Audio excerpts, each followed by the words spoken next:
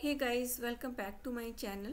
So today i am going to show you like how we are preparing the uh, queries after receiving the mapping sheet. So what happens sometime we are getting the mapping sheet from the dev team or from the BAs but in most of the cases what happens we have to prepare our own mapping sheet based on the discussions that we had with the BAs and the dev teams and sometime with the clients so um, this is how we are making the mapping sheet so for each tables whether it is a source table or the target table or the intermediate tables. So we have to make separate separate mapping sheet.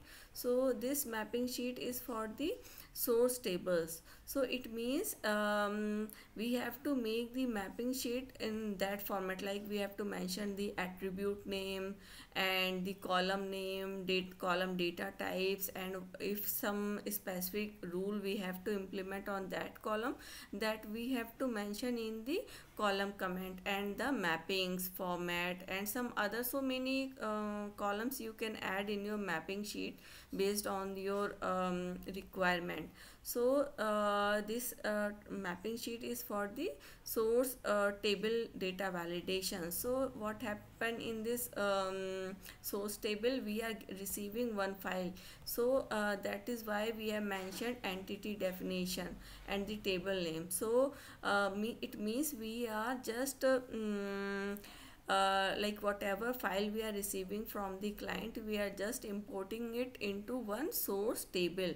So that is why we have mentioned the file maintains the ma mapping of source role to the reporting role. So this is about the details of that table. So uh, that is why we have mentioned that we are receiving the data in the file format. So suppose in case you are not receiving in the uh, in the file format uh, similarly you can mention in your comment.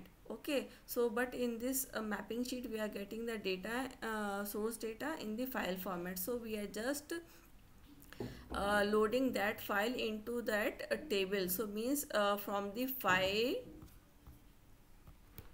suppose we are getting the source data in the file format we are just uh, loading the data from the file to the source table. Okay? So this is how this is called a flat file so from the flat file we are loading the data into the source table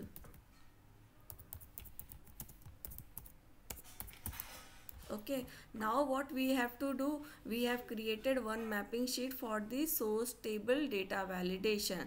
So this is all about the uh, source table uh, validation. So uh, for that source table means we are getting file of the source role code in the file format. We are just loading all the data into this table okay so we have to validate the column name data types and whatever mapping sheet we are applying on that.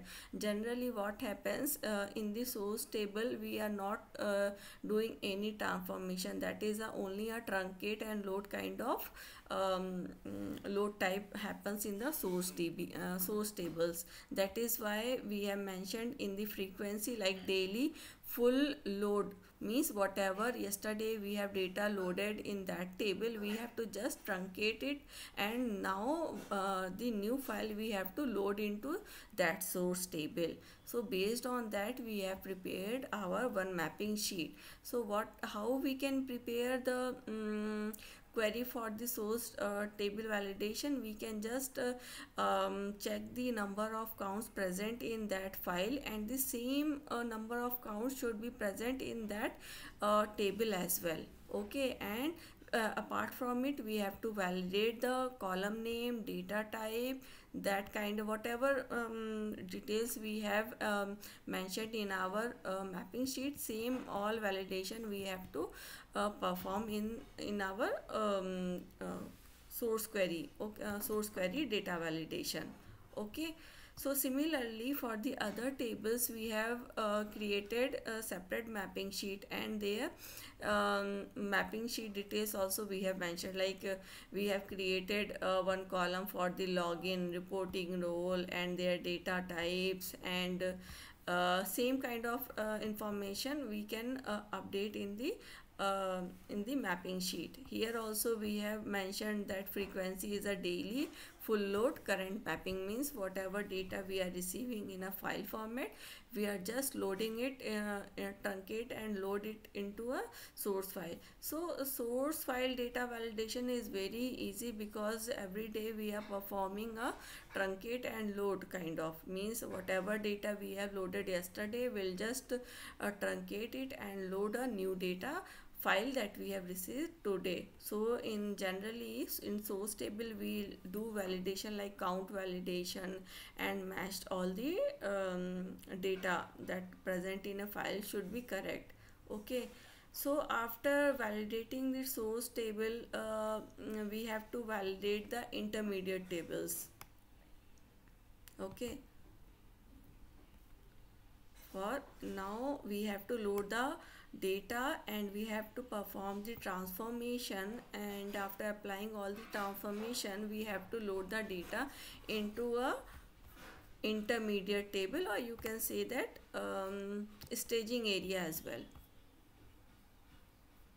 So it depends on organization to organization how uh, you are calling these phases. Sometime we are calling it staging sometime we are calling it intermediate staging area. And sometimes we called it intermediate tables. So uh, whatever data we have loaded into a uh, source table again we have to um, uh, just transform the data and uh, uh, load the data into the st uh, staging area so uh, now again we have to prepare a separate mapping sheet for the staging area okay? So uh, like this way we have to prepare a separate mapping sheet so as you can see that here uh, uh, we are categorized segregating the data into a dimension tables and the fact tables. So all these tables we have to validate okay? Suppose i want to validate this dimension table like this way. So for that we, i have prepared a separate mapping sheet for this table. So what i have mentioned uh, in description this table has all combination of this this this uh, and table okay.